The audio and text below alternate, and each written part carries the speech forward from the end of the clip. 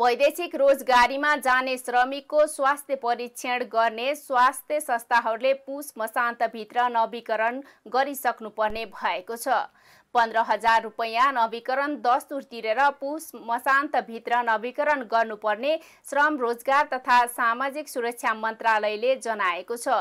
नवीकरणको लागि निवेदन दिँदा सूचीकरण प्रमाणपत्रको प्रतिलिपि अघिल्लो नवीकरण भएको भए त्यस प्रमाणपत्रको प्रतिलिपि अघिल्लो आर्थिक वर्षको कर चुक्ता प्रमाणपत्रको प्रतिलिपि पेश गर्नुपर्नेछ।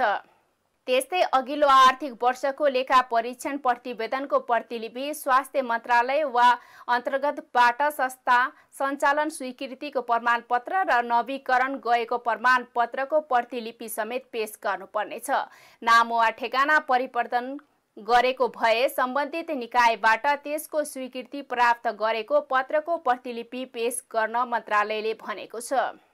तोकिएको शर्तहरू पूरा नगरिएको खण्डमा नवीकरण नगर्ने र कारोबार रोक्का गरिने मन्त्रालयले जनाएको छ।